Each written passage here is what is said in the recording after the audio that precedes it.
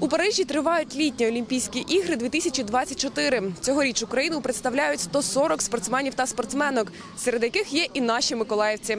А чи слідкують жителі нашого міста за тим, як проходять змагання? Дізнаємось просто зараз. Трошки, за футболом в основному. Іншими. Серед плавання, я знаю, Олексій Середа доволі хороший хлопець. Звісно, слідкую. Знаю, там ще наші миколаївці виступають.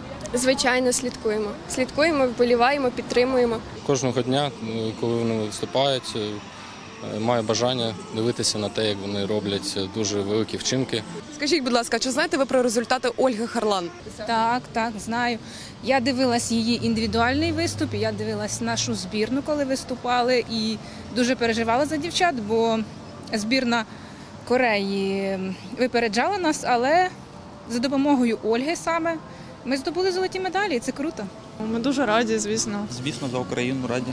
Пишаємо, що вона сама здобула бронзу і ледь не плакали разом з нею, коли в команді здобула золото.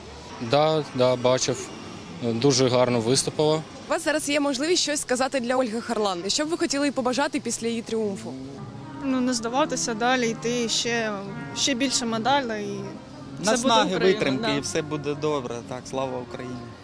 Бажаю успіхів, бажаю ще більше медалей, бажаю, щоб вона прославляла нашу країну і далі. І всього найкращого їй. Наснаги, сил і так тривати. Бажаю їй успіху ну, та здоров'я.